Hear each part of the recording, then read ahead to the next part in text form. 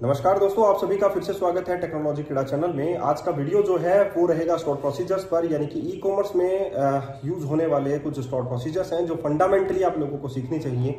और e commerce में भी बहुत ज़्यादा ऐसे स्टोर प्रोसीजर्स हैं जो इंटरव्यूज़ में भी पूछे जाते हैं। तो आ, पूरा वीडियो देखिएगा मज़ा आएगा कि कौन कौन से स्टॉक प्रोसीजर्स आप लोगों को सीखने चाहिए। अब मैं बात कर देता हूँ अपने एक कोर्स की जो मैंने स्टार्ट कर रखा है मेंबरशिप के कोर्स की जिसकी फ़ीस है सिक्स हंड्रेड रुपीज़ लेकिन ये कोर्स सिंपल कोर्स नहीं है, मेरी जर्नी है टेन टू सिक्सटीन ईयर्स की जर्नी है, और वो मैं सिर्फ़ और सिर्फ़ जो है आप लोगों को सिक्स हंड्रेड रुपीज़ में प्रोवाइड कर रहा हूँ। इसके वीडियोज़ आप लोगों को मिल जाएँगे और आप लोगों को पूरा सोर्स कोड मिलेगा, पूरे वीडियोस मिलेंगे, और एक स्क्रैच जर्नी आप लोगों को मिलेगी कि कहाँ से आप लोगों को शुरुआत करनी चाहिए, कैसे कैसे आप लोगों को चीज़ें सीखनी चाहिए, उसके बेस पर आप लोगों को कैसे प्रोजेक्ट्स बनाने चाहिए। ये सारी जर्नी मैं आप लोगों को प्रोवाइड कर रहा हूँ इस सिक्स के कोर्स में। डॉट नेट कोर्स स्टार्ट किया उसके बाद में एपीआई स्टार्ट किया ब्लेजर स्टार्ट किया एंगुलर स्टार्ट किया रिएक्ट स्टार्ट किया उसके बाद में S T M C S jQuery के बेस पर चलते हुए आगे हम लोग जेएस के बेस पर चलते हुए प्रोजेक्ट स्टार्ट करेंगे। यूनिट टेस्टिंग कैसे लिखते हैं? ये आगे पूरा का पूरा जो प्रोसीजर है सीक्वल सर्वर में कैसे हम लोग स्टॉक प्रोसीजर्स लिखें फ़ंक्शंस लिखें ये सारा का सारा आप लोगों को सिर्फ़ वन टाइम फ़ीस आप लोगों को पे करनी है। That is only six hundred rupees and finally आप लोगों के पास कोर्सेज जो हैं वो आ, आ, जो है आप लोग उसे देख सकते हैं। तो सिक्स हंड्रेड रुपीज़ आप लोग कहीं पर भी जो है अगर देखेंगे तो बहुत कम प्राइस मैंने रखी है। आज हो सकता है इसकी फ़ीस सिक्स हंड्रेड रुपीज़ हो, लेकिन कल इस हो सकता है इसकी फ़ीस थाउज़ेंड रुपीज़ कर दी जाए। वन टाइम फ़ीस है, एक बार पे करना है, लेकिन लाइफ टाइम एक्सेस है आप लोगों के पास। और साथ ही बहुत सारे कोर्सेस आप लोगों को आगे जलकर जुड़ते जाएँगे इसमें। वहाँ पर चलकर आप लोगों को एक्स्ट्रा फ़ीस पे नहीं करनी है, जो इस मेंबरशिप में इंक्लूड है, ठीक है? तो मेंबरशिप में बहुत सारी चीज़ें हैं जो इंक्लूड हैं और स्क्रैच पेज पर मैं आप लोगों को लेकर चल रहा हूँ। ठीक है? ज्वाइन करना चाहता है कोई तो वीडियो के डिस्क्रिप्शन बॉक्स में जाइए। वहाँ पर एक गूगल फॉर्म का लिंक है। उस गूगल फॉर्म के लिंक को आप लोगों को फिल करना है। फाइनली आप लोगों की मेंबरशिप जो है वो स्टार्ट हो जाएगी। चलिए चलते हैं स्टॉक प्रोसीजर्स के ऊपर और आप लोगों को बताते हैं कि कौन कौन से stored procedures e commerce application में यूज़ किए जा सकते हैं। देखिए, ये हमारी मेंबरशिप है और इसमें आप लोगों को प्रोफेशनल जो प्रोजेक्ट्स हैं, वो मेरा ड्रीम है कि मैं आप लोगों को जो चीज़ें सिखा रहा हूँ, वो प्रोफेशनल तरीके से सिखाऊं। लेकिन पहले आप लोगों के लिए फंडामेंटली मैं चीज़ों को तैयार कर रहा हूँ और उसके बाद में आप लोगों को एक लाइफ टाइम जर्नी जो है, वो मैं आप लोगों को शेयर करना चाहता हूँ। तो इस कोर्स के माध्यम से मैंने वो चीज़ें शेयर की हैं आप लोगों से। यहाँ पर है project based courses in old technologies in just six hundred rupees छह सौ रुपए में आप लोगों को बहुत सारी टेक्नोलॉजीज़ पर वीडियोस मिलने वाले हैं। यहाँ पर. डॉट नेट कोर जो है वो कम्प्लीटली रेडी हो चुका है फंडामेंटली रेडी हो चुका है, जिसके ऊपर आप लोग प्रोजेक्ट जो है वो स्टार्ट कर सकते हैं। और जिन्होंने स्टार्ट कर दिए हैं, वो बहुत अच्छी जगह जॉब्स भी लग चुके हैं। ठीक है? तो अनटिल अनलेस यही होता है कि आप लोगों को किसी चीज़ को सीखना होता है और मैंने बहुत अच्छा जो है यहाँ पर सिखाया आप लोगों को और बहुत अच्छे रिव्यूज़ मुझे मिले हैं। तो. डॉटनेट कोर कंप्लीट हो चुका है। डॉटनेट कोर के साथ मैंने एंटिटी फ्रेमवर्क कोर का मॉडल फ़र्स्ट अप्रोच यूज़ किया है। यहाँ पर एंटिटी फ्रेमवर्क कोर की बहुत सारी क्वेरीज हो चुकी हैं और साथ ही मैंने सीक्वल सर्वर भी यूज़ किया है तो सीक्वल सर्वर भी आप लोगों का इसमें इंक्लूड है। यहाँ पर उसके बाद में मैंने. डॉटनेट कोर के बाद में मैंने रेस्ट एपीआई को थोड़ा समझाया। ताकि मैं इसी चीज़ को रेस्ट एपीआई को ब्लेजर के अंदर काम में ले सकूँ एज ए फ्रंट एंड तो मैंने एमवीसी के बाद में जस्ट फ्रंट एंड में. डॉटनेट ब्लेजर को सिलेक्ट किया ताकि मैं फ्रंट एंड बना सकूँ और आप लोगों को बताऊँ कि एक कंप्लीट जो है फुल स्टैक आप लोग ऐसे बनाएँगे। इंस्टेड uh, ऑफ़ आप लोग रेजर uh, जो है मैंने एमवीसी के अंदर काम में लिया है लेकिन फिर भी मैंने एज ए फ्रंट एंड जो है ब्लेजर आप लोगों को पहले बताया। उसके बाद में आप लोगों को मैंने रेस्ट एपीआई को कंप्लीट सिखाया कि कैसे रेस्ट एपीआई हम लोग बनाएँगे। ताकि हम लोग उसको, उसी रेस्ट एपीआई को, चाहे वो एमवीसी का रेजर व्यूज़ हो, चाहे वो एंगुलर हो, चाहे वो रिएक्ट हो, चाहे वो जे क्वेरी या जेएस हो, उसमें कैसे काम में लेते हैं, ये सारी चीज़ें मैंने रेस्ट एपीआई के अंदर पुट की है और ये कंप्लीट फंडामेंटली ट्यूटोरियल मैंने आप लोगों को बताया है। उसके बाद में मैंने इसी चीज़ को एक प्रोजेक्ट के माध्यम से एंगुलर में भी बताने की अभी जो है प्रोसीजर चल रहा है। अनटिल अनलेस वो ऑथेंटिकेशन ऑथोराइजेशन पे पहुँच चुका है और वो भी कंप्लीट हो जाएगा बुक शॉप का प्रोजेक्ट फंडामेंटली आप लोगों के जो रिएक्ट के ट्यूटोरियल्स हैं, वो भी स्टार्ट हो चुके हैं। तो यहाँ तक ही जर्नी खत्म नहीं होती है।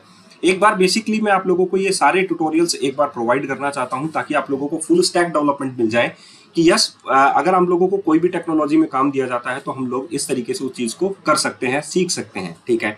उसके बाद में हम लोग यहाँ पर जो रोड मैप होता है कंप्लीट रोड मैप होता है, वो भी आगे स्टार्ट करेंगे।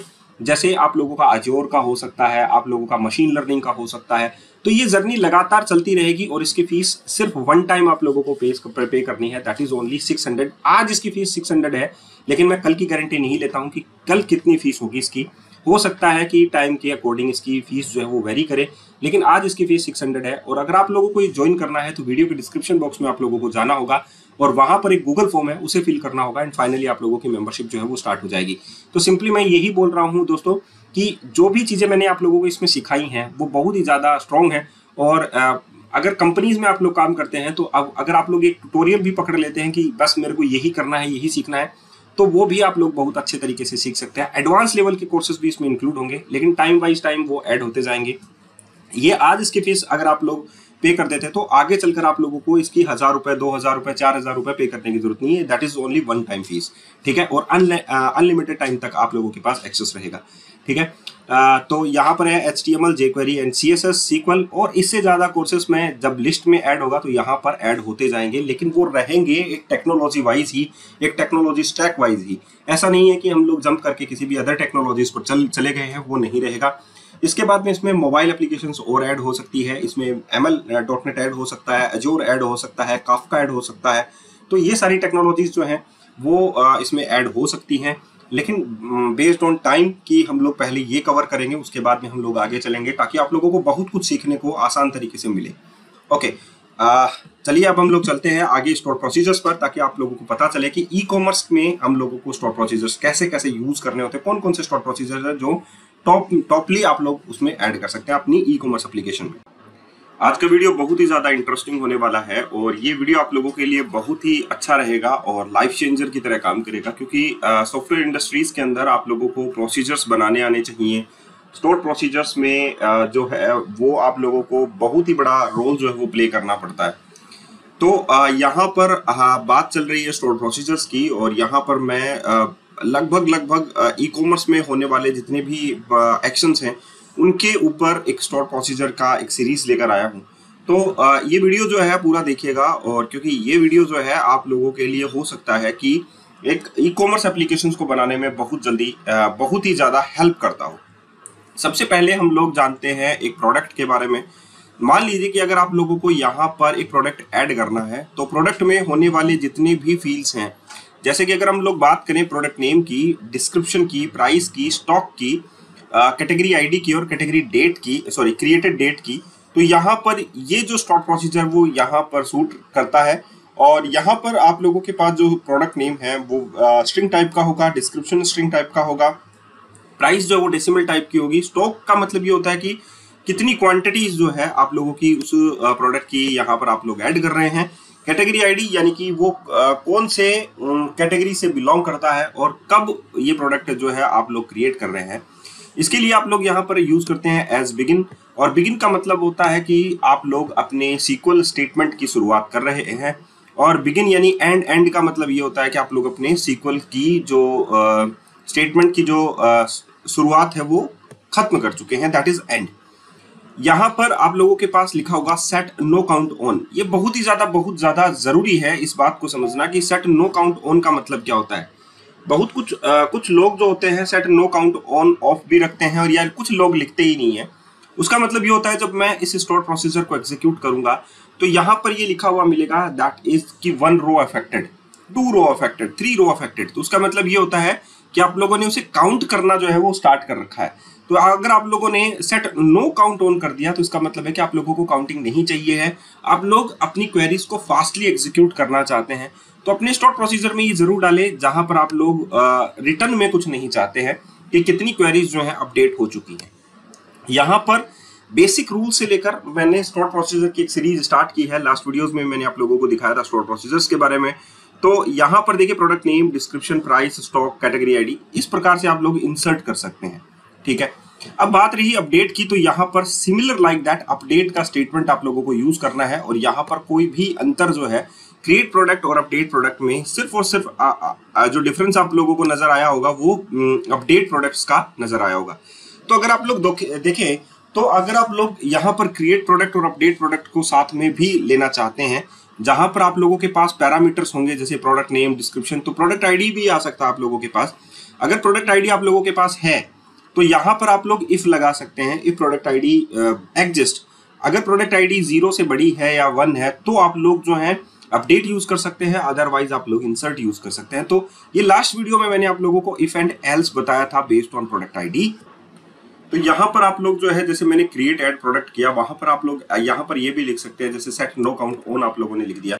अब मैं मान लीजिए कि यहाँ पर मैं प्रोडक्ट आईडी ऐड कर देता हूँ। सिंपल ये बहुत ही आसान तरीका है आप लोगों को, इन दोनों को हैंडल करने का। जैसे मान लीजिए मैंने यहाँ पर लिखा प्रोडक्ट आईडी और ये मैं इंटीजर में लिखता हूँ तो मैं कैप्स में लिख देता हूँ इक्वल्स टू मैं बाई डिफ़ॉल्ट इसमें डाल देता हूँ नल ठीक है? नल या ज़ीरो जो है, वो हम लोग इसमें इंसर्ट कर सकते हैं, ठीक है? बाय डिफ़ॉल्ट मैंने इसमें नल डाल दिया वैल्यू और यहाँ पर मैं इस चीज़ को चेक कर सकता हूँ दोनों के लिए स्टोर प्रोसीजर्स तो ये आप लोगों की यहाँ पर आ, काम करेगा कि आप लोग कितना जो है इस चीज़ के लिए एक्टिव हैं इस चीज़ को सोचने के लिए कि आप लोगों को क्या स्टोर प्रोसीजर्स में लिखना है। तो यहाँ पर अगर आप लोग ये लिखते हैं प्रोडक्ट आईडी इज़ नल मान लीजिए आपने ये लिखा तो आप लोग इसे बिगिन कर सकते हैं। ठीक है? और यहाँ पर इस चीज़ को एंड कर सकते हैं। उसके बाद में आप लोग यहाँ पर एल्स लिख सकते हैं। अगर ये प्रोडक्ट आईडी नल नहीं है तो फिर से आप लोग बिगिन कर सकते हैं और आप लोग अपडेट स्टेटमेंट जो है, वो यहाँ पर लिख सकते हैं। ठीक है? जो नीचे लिखा गया है दिस वन आप लोग ये स्टेटमेंट जो है, वो यहाँ पर भी लिख सकते हैं। तो ये दोनों तरीकों से हैंडल करने का है। अगर आप लोगों के पास प्रोडक्ट आईडी आती है पैरामीटर से तो आप लोग उस तरीके से उस चीज़ को हैंडल करेंगे अदरवाइज़ नहीं आती है तो आप लोग उस तरीके से उस चीज़ को हैंडल करेंगे, ठीक है? अब दूसरा जो स्टॉर्ट प्रोसीजर है, वो यहाँ पर है प्लेस ऑर्डर कोई भी आदमी अगर आप लोगों के लिए ऑर्डर प्लेस करता है तो उसके लिए आप लोग क्या ज्यूम करके मानेंगे कि कस्टमर आईडी होगी, उसकी ऑर्डर डेट होगा टोटल अमाउंट होगा और ऑर्डर डिटेल होगी। अब आप लोगों ने देखा कि यहाँ पर ऑर्डर डिटेल कुछ अलग ही डिफाइन किया गया है। ये यूज़र डिफाइंड टेबल है तो आप लोगों को अपने सीक्वल के अंदर यूज़र डिफाइंड टेबल्स ज़रूर पढ़ना चाहिए। यूज़र डिफाइंड टेबल का मतलब होता है एक वर्चुअल टेबल बनती है, जिसका डेटा जो है आप लोग ऑर्डर डिटेल टेबल में डालना चाहते हैं। Order details is also a table here यहाँ पर एक टेबल है ऑर्डर डिटेल्स की, जहाँ पर कस्टमर आईडी यूनिक है ऑर्डर डेट यूनिक है टोटल अमाउंट यूनिक है, लेकिन ऑर्डर डिटेल्स जो है, वो एक टेबल है यहाँ पर, जहाँ पर एक से ज़्यादा रोज जो है आप लोग इंसर्ट करना चाहते हैं बाई यूजिंग वर्चुअल टेबल तो यहाँ पर यूज़र डिफाइंड टेबल जिसकी मैं बात कर रहा हूँ, वो है ऑर्डर डिटेल टाइप टेबल ठीक है? ऑर्डर डिटेल टाइप की यहाँ पर एक टेबल बनेगी जिसके डेटा जो है, जिसमें डाटा जो है वो इंसर्ट किए जाएँगे और यहाँ पर आप लोगों को पुट किए जाएँगे। तो यहाँ पर देखिए, मैं आप लोगों को पूरा समझाने की कोशिश करता हूँ कि ऑर्डर प्लेस ऑर्डर कोई ऑर्डर प्लेस करेगा तो कस्टमर आईडी यूनिक होगी, एक ही होगी। ऑर्डर डेट उसी दिन की डेट होगी तो बार बार में हर एक चीज़ के साथ लिखने की ज़रूरत नहीं है। दैट इज़ ऑर्डर हेडर यहाँ पर ये ऑर्डर हेडर है। टोटल अमाउंट जो है ऑर्डर हेडर में ऐड हो जाएगा कि इतने अमाउंट का टोटल जो है ऑर्डर ऐड किया गया है। अब ऑर्डर डिटेल में प्रोडक्ट की डिटेल आप लोगों के पास आएँगी। इसीलिए ऑर्डर डिटेल टाइप जो है आप लोग एक टेबल बनाएँगे, जिसमें आप लोगों के पास जो डेटा है, वो आप लोग यहाँ पर कंसिडर कर सकते हैं। देखिए जो यहाँ पर लिखा गया है। That is order details table जिसमें ये ऑर्डर डिटेल टाइप में क्या आप लोगों के पास होगा? प्रोडक्ट आईडी क्वांटिटी और प्राइस यानी कि प्रोडक्ट से रिलेटेड डिटेल्स आप लोगों के पास at the rate order detail में होंगी। क्योंकि आप लोगों ने ऑर्डर डिटेल टाइप के थ्रू जो है ऑर्डर डिटेल्स में ये एंट्रीज जो है वो कर दी हैं। तो यहाँ पर आप लोगों को कुछ नहीं करने की ज़रूरत है तो आप लोग एक साथ जो डेटा है वो यहाँ पर यूज़ कर सकते हैं इंस्टेड ऑफ़ आप लोग फोर ईच लूप का यूज़ करें। ठीक है? मैंने लास्ट वीडियो में आप लोगों को बताया था कि आप लोग डिक्लेयर का इस्तेमाल कब करते हैं, जब आप लोगों को कोई वेरिएबल डिक्लेयर करना हो तो ऑर्डर आईडी आप लोगों ने डिक्लेयर यहाँ पर किया, ताकि जब भी कोई ऑर्डर हेडर बने, यहाँ पर देखिए बिगिन ट्रांजेक्शन है। एक कंप्लीट ट्रांजेक्शन को डिफाइन करने के लिए आप लोगों ने ये ट्रांजेक्शन वर्ड जो है वो यहाँ पर यूज़ लिया है। यानी कि एक जब भी अगर मान लीजिए कि आप लोगों को ऑर्डर के साथ ऑर्डर डिटेल भी फिल करना है, लेकिन हो सकता है कि कहीं किसी भी वजह से ऑर्डर का ट्रांजेक्शन जो है वो फ़ील्ड हो जाए तो ऑर्डर डिटेल में ये कंप्लीट जो है ट्रांजेक्शन ट्रीट किया जाए। तो यहाँ पर आप लोगों के पास देखिए कि बिगिन ट्रांजेक्शन जो है वो यूज़ किया गया है, और लास्ट में आप लोगों के पास कमिट किया गया है ट्रांजेक्शन अगर अगर कंप्लीट ट्रांजेक्शन नहीं होता है तो ये रोल बैक कर जाएगा, ये ट्रांजेक्शन ठीक है? तो यहाँ पर बिगिन ट्रांजेक्शन यूज़ करें और यहाँ पर कमिट ट्रांजेक्शन का भी इस्तेमाल आप लोग कर सकते हैं।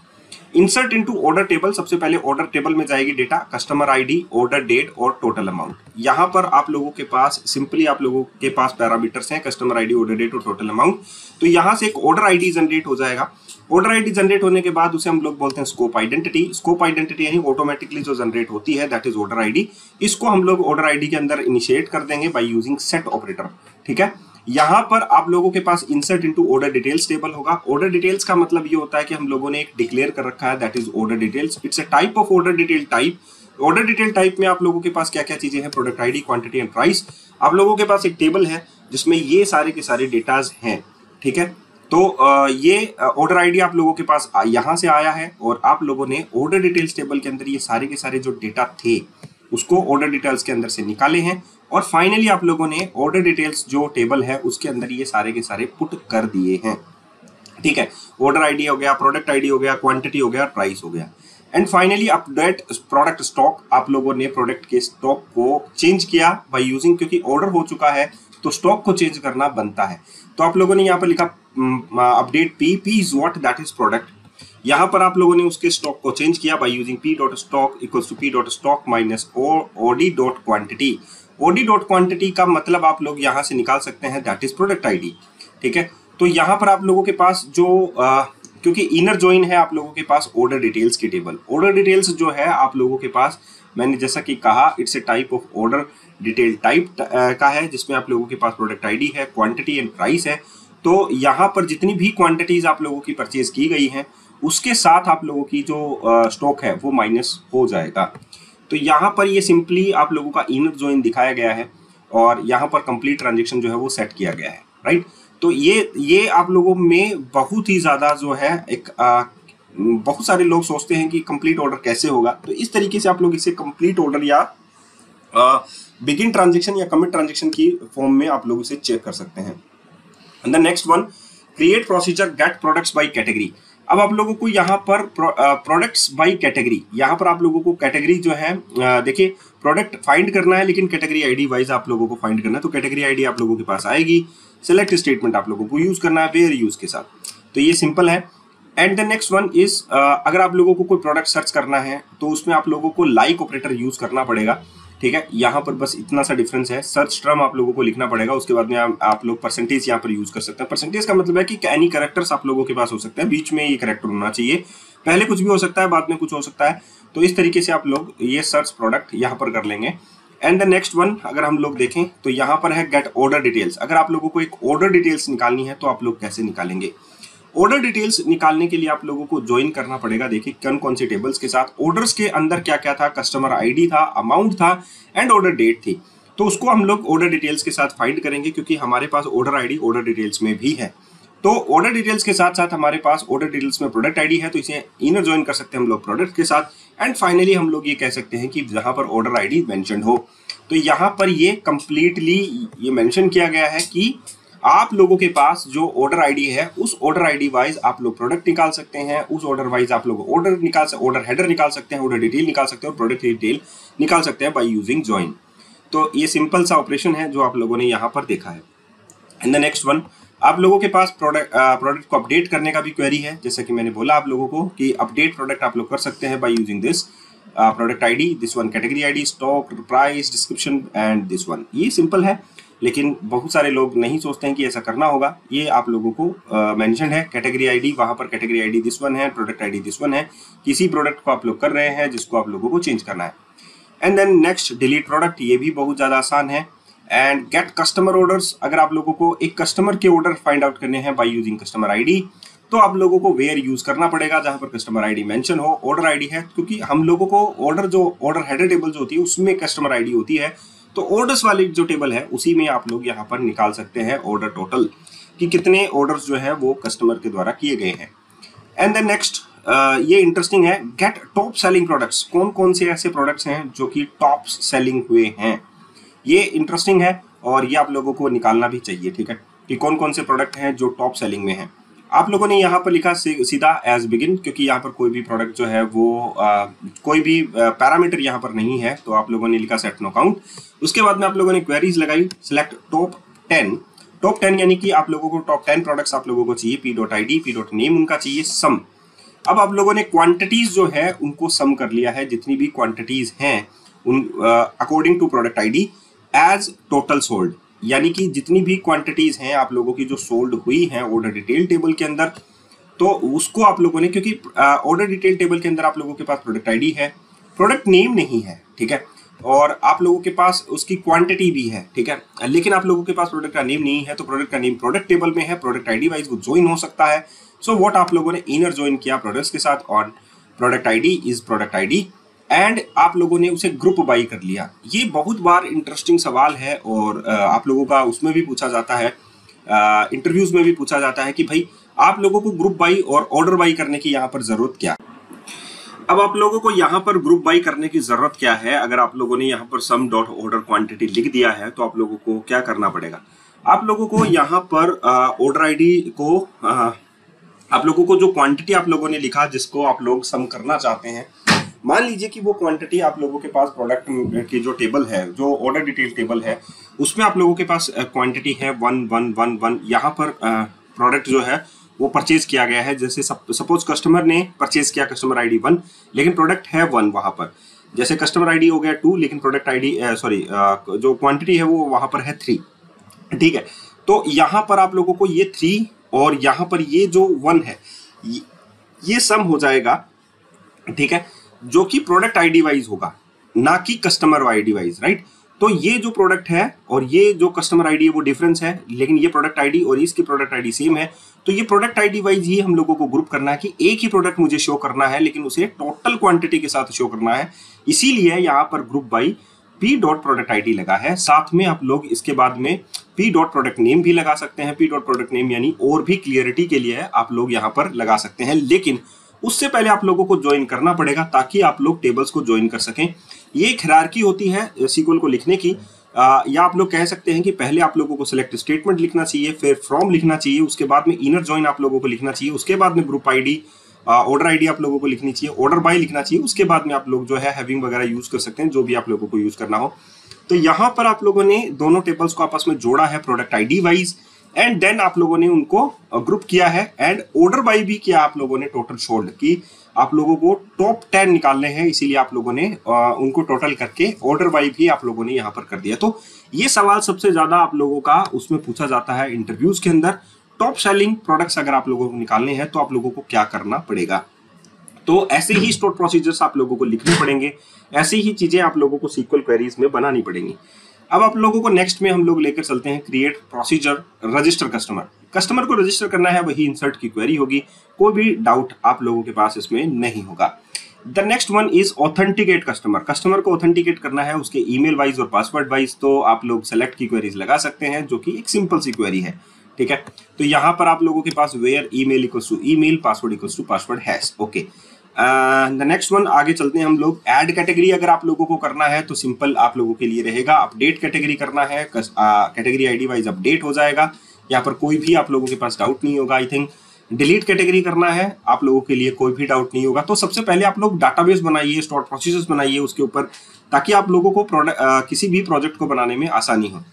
The next one is create procedure get customer details अगर आप लोगों को निकालनी है कि कस्टमर डिटेल्स क्या होंगी एंड फाइनली आप लोग यहाँ पर सिंपली ये निकाल सकते हैं। सिंपल कस्टमर आईडी वाइज आप लोग कस्टमर डिटेल निकाल सकते हैं। Get order history that's one यहाँ पर आप लोगों को सेलेक्ट करना है ऑर्डर हिस्ट्री कि मान लीजिए कि आप लोगों को अपनी ही ऑर्डर हिस्ट्री निकालनी है तो ऑर्डर जो कस्टमर आईडी होगी, वो आप लोगों की वेयर कॉज में लगेगी लगेगी राइट लेकिन आप लोगों को ऑर्डर हिस्ट्री निकालनी है तो कस्टमर की डिटेल के साथ आप लोग कस्टमर की डिटेल नहीं निकालनी है ऑर्डर की डिटेल निकालनी है। तो अगर आप लोग देखें यहाँ पर तो ऑर्डर जो टेबल है, वो ऑर्डर डिटेल के साथ जो होती है, वो किसके साथ जुड़ी हुई होती है? ऑर्डर आईडी के साथ जुड़ी हुई होती है। तो आप लोगों को ऑर्डर टेबल को ऑर्डर डिटेल टेबल के साथ जोड़ना होगा बाय यूजिंग ऑर्डर आईडी आप लोगों ने ऑर्डर आईडी के साथ उसको जोड़ दिया है एंड देन ऑर्डर डिटेल जो टेबल है वो प्रोडक्ट के साथ उसकी प्रोडक्ट आईडी वाइज जुड़ी होती है तो आप लोग प्रोडक्ट भी निकाल सकते हैं वहाँ पर। एंड देन फाइनली आप लोगों ने लिखा कि उस कस्टमर की डिटेल मुझे चाहिए है जो कि कस्टमर आईडी वाइज है। एंड देन फाइनली आप लोग अगर ये भी निकालना चाहते हैं कि ऑर्डर डेट वाइज वो डिसेंडिंग हो तो ऑर्डर डेट वाइज भी आप लोग इसे डिसेंडिंग कर सकते हैं। तो ये एक आसान सा तरीका है किसी चीज़ को करने का। एंड द नेक्स्ट वन हम लोग चलते हैं आगे रिव्यूज़ के लिए, क्योंकि रिव्यूज़ भी लिखाई जा सकते हैं प्रोडक्ट के ऊपर। तो ज़ाहिर सी बात है प्रोडक्ट आईडी होगी कस्टमर आईडी होगी रेटिंग्स होगी कि कितनी नंबर ऑफ़ रेटिंग्स आप लोग उसे देना चाहते हैं नंबर कमेंट होंगे एंड रिव्यू डेट होगी कि कब ये रिव्यू जो है वो लिखा गया था। एंड फाइनली ये ऐड करना है तो हम लोगों को इंसर्ट स्टेटमेंट लगाना पड़ेगा। तो ये सिंपल सा स्टेटमेंट हम लोगों ने यहाँ पर यूज़ किया है। आगे चलते हैं अपडेट रिव्यूज़ रिव्यूज़ को अपडेट करना है तो वही रिव्यू आईडी होगी। रिव्यू की एक आईडी बनेगी। रेटिंग्स होंगी एंड द कमेंट्स होंगे। एंड यहाँ पर आप लोग लिख सकते हैं कि रिव्यू आईडी वाइज उसे आप लोग चेंज कर सकते हैं। एंड द नेक्स्ट वन आगे चलते हैं डिलीट रिव्यू आप लोग कर सकते हैं। उसके बाद में है, यहाँ पर डिलीट रिव्यू का है ऑप्शन आप लोग ये देख सकते हैं। उसके बाद में आप लोगों के पास है कि अगर आप लोगों को प्रोडक्ट के रिव्यूज़ फाइंड करने की इस प्रोडक्ट के रिव्यूज़ कितने आए हैं तो आप लोग प्रोडक्ट आईडी वाइज वो रिव्यूज़ जो है वो फाइंड कर सकते हैं। सेलेक्ट की क्वेरी लगेगी इनर जॉइंस लगेंगे ऑर्डर बाई डेट लगेगी। कि ऑर्डर बाई डेट जो है, आप लोग इसके रिव्यूज़ जो है, वो चेक कर सकते हैं। ये सिंपल सा क्वेरी है। गेट कस्टमर विशलिस्ट यहाँ पर आप लोग एक कस्टमर की विशलिस्ट भी बना सकते हैं और उसे फाइंड भी कर सकते हैं कि कितने, जो कस्टमर विशलिस्ट में क्या क्या है कस्टमर की आईडी वाइज आप लोग उसे निकाल सकते हैं विशलिस्ट में क्या क्या चीज़ें हैं। तो आप लोग यहाँ पर देखिए, ये भी एक सिंपल सी क्वेरी है, कोई हार्ड एंड फास्ट रूल इसमें नहीं है। Add to wish list item दिखेंगे तो आप लोग गेट कस्टमर विश लिस्ट आसानी से निकाल लेंगे। बाई यूजिंग कस्टमर आईडी जो आप लोगों ने यहाँ पर देखा है। अगर आप लोगों को प्रोडक्ट की आईडी के साथ जो है कस्टमर की आईडी जो है वो निकालनी है तो आप लोग यहाँ पर देखिए विश लिस्ट में जो प्रोडक्ट होंगे, उसमें प्रोडक्ट आईडी होगी विश लिस्ट में। तो प्रोडक्ट निकालेंगे तो आप लोगों को प्रोडक्ट के टेबल के साथ उसको ज्वाइनिंग करना पड़ेगा एंड फिर कस्टमर आईडी दिस वन लगा सकते हैं और एडिट डेट जो है ऑर्डर बाई डिसेंडिंग आप लोग कर सकते हैं दिस वन ठीक है यहाँ पर हम लोग ऐड टू विश लिस्ट ये भी एक आसान तरीका है रिमूव फ्रॉम विश लिस्ट ये भी एक आसान है।